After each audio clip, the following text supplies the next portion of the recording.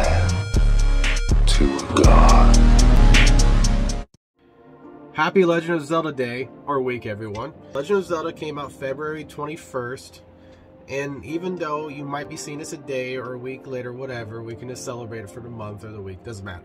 And one of my favorite ones is Twilight Princess, just because it's that dark emo type Legend of Zelda, you know.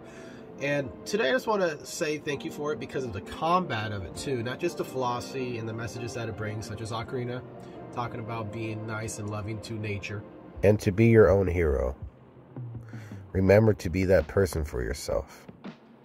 Or to just simply give attention to your child self. We all love all that stuff, but the combat especially was actually really accurate. Like they had a lot of uh, HEMA moves. For example, this is Zornhau. This is one of the first moves we learn. And there's so many more moves in Legend of Zelda that is from HEMA. So if you guys want to see more, let me know.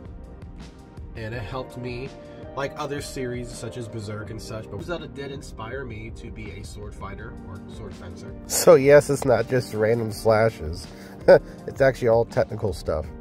Like they have all that stuff in there and it's just amazing. I feel like it gets overlooked. So I just want to say, what is your guys' uh, favorite Legend of Zelda memory and who is it with and why?